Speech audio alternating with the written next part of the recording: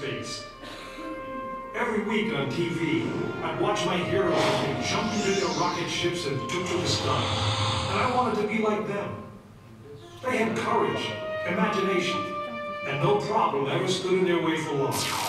In the end, when we actually did send men into space, it turned out that those were exactly the qualities it took. I'm John Hudson. This is Pad 39 of the Kennedy Space Center. I was a launch controller here when from this very spot, man took off to fly to the moon. It was a journey that began 12 years before that rocket ever left the ground. And it started on the other side of the world. Back then, we were one of two superpowers that always seemed to be on the edge of a terrible war.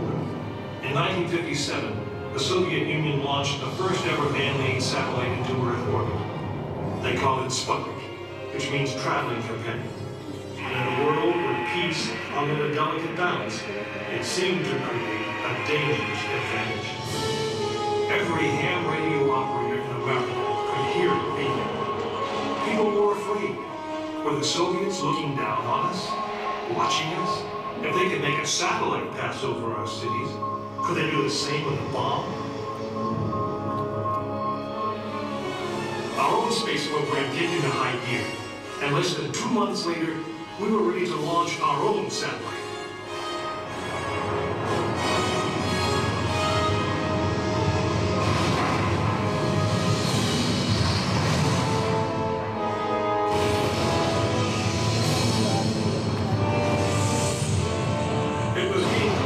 Space race, and we were running a distant second. In 1961, we fell even further behind. Soviet cosmonaut Yuri Gagarin became the first man into space, circling the world in just 89 minutes. We had our own astronauts, and they were eager and ready to take the big ride. But our manned space program couldn't seem to get off the ground. We stuck with it, and on May 5th, 1961, things finally started going right. Astronaut Alan Shepard took his ship Freedom 7 six and a half miles into space. America had its first space hero. Just a few days later, our space program received a new challenge. But this one did not come from the Soviet Union. It came from our young president. In one inspiring moment, he changed the mission from one based in fear of the present to one of hope for the future. But why, some say, the moon? Why choose this as our goal? And they may well ask, why climb the highest mountain? Why 35 years ago, fly the Atlantic? Why does Rice play Texas? We choose to go to the moon. We choose to go to the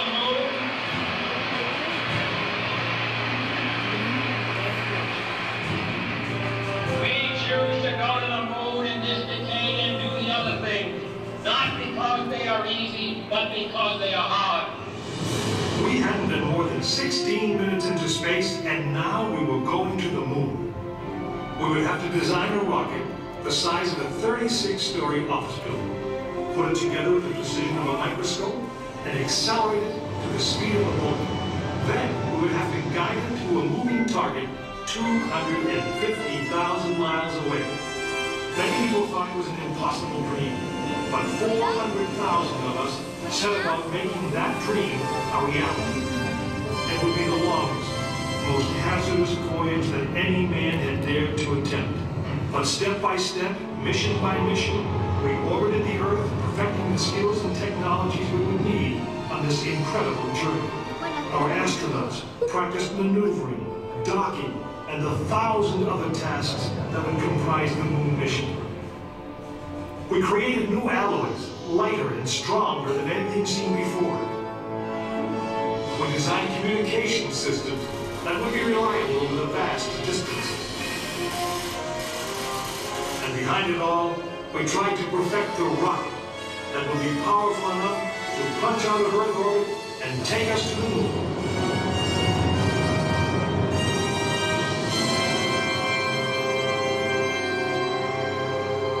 One day, however, the dream of flying to the moon almost slipped away. It was January 27, 1967. Astronauts Virgil Gus Grissom, Edward White, and Roger Chaffee were on board Apollo 1 for a plugs-out test, a full-scale dress rehearsal for the actual launch.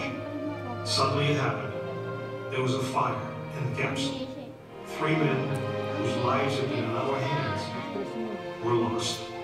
Surely the opening vistas of space promise high costs and hardships, as well as high reward.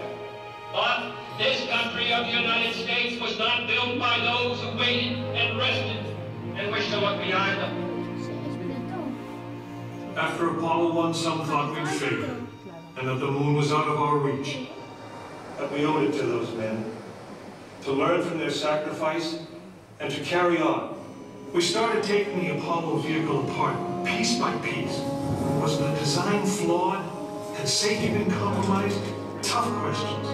And we spent one and a half years redesigning the spacecraft so that no astronaut's life would ever be at risk because we overlooked something, or because we could have done something better. A moon rocket is 91% high explosive, and it goes into the most unforgiving, hazardous environment there is. We could never make it risk-free, and the men who flew them knew that. We didn't send men into space again until Apollo 7 orbited the Earth testing some of the new design. When everything worked perfectly, the decision was made. The next mission would travel to the moon. It was mankind's destiny to leave the shores of our planet behind and strike out across the vast ocean of space. In the great span of our history, now was the time that we could. Now was the time that we would. We stood on the eve of the longest, most dangerous journey that any man had ever undertaken. And it would be taken by Frank Borman, James Lovell, and William Anders, the crew of Apollo 8. Through those doors, you'll find the firing room, launch control, just as it was on December 21st, 1968. Please gather all of your belongings. Take small children by We were making up for it in one big leap. And we were doing it with a rocket that no man had ever flown before.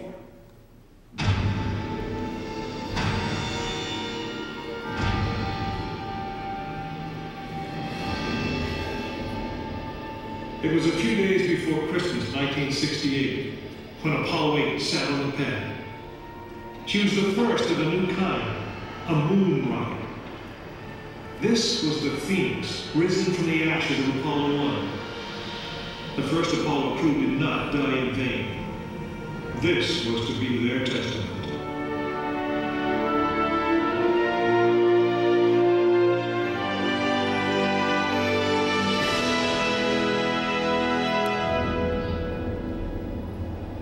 Thirty-six stories high, she had been fully fueled throughout the night.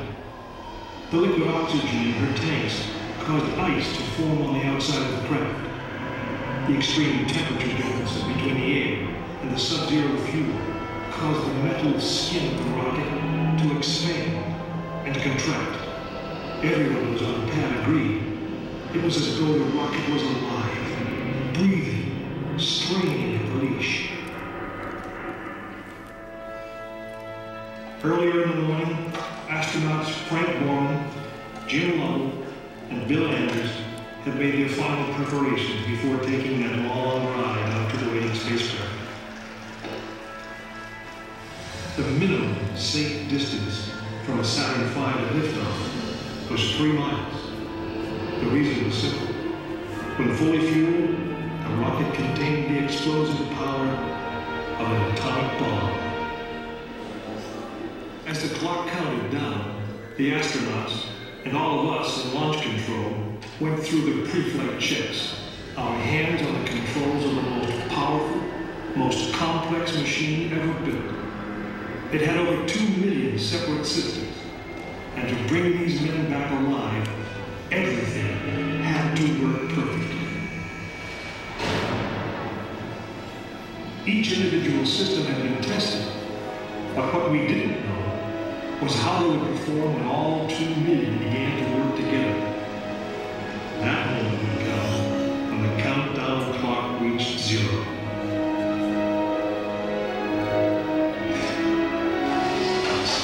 If a maneuvering thruster failed, if communications broke down, if navigation was off by one degree, if any piece of the miles of wiring, circuits, relays, or valves was defective, Frank Borman, Jim Lovell, and Bill Anders would pay with their lives.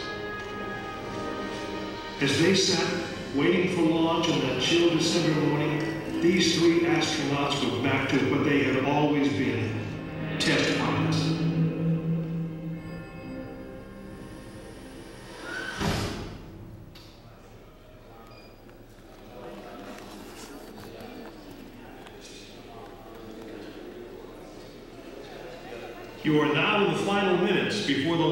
Apollo 8, right here where it actually happened.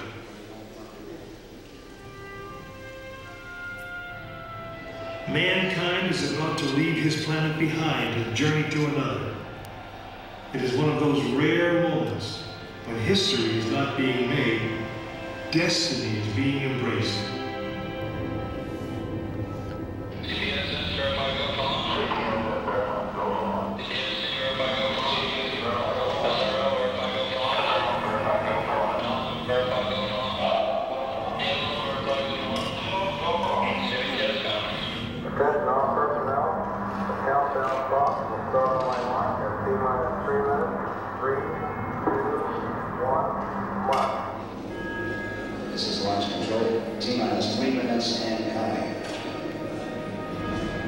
We have completed our communications checks with the Apollo 8 astronauts in the cabin and the communications tower probe. Is everybody ready to clean up? Am I on? Clear up. T minus one, you are clear to fine. During this period, once we do get the firing command, the various tanks within the three stages of the Saturn V launch vehicle begin to pressurize.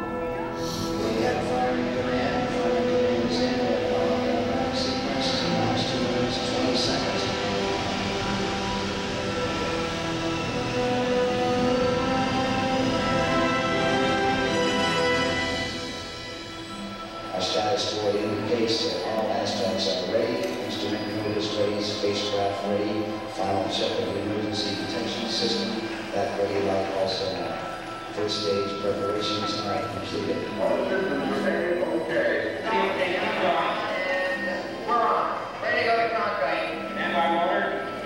Okay. One minute, 45 seconds. First stage liquid oxygen tank has been pressurized and the pressure is still building up. Coming up 90 seconds, mark T minus 90 seconds and counting. The Apollo 8 uh, crew standing by, spacecraft commander Frank Borman, Jim Lovell, Bill Anders. We now report that the liquid hydrogen tank in the third stage is pressurized. One minute, 15 seconds.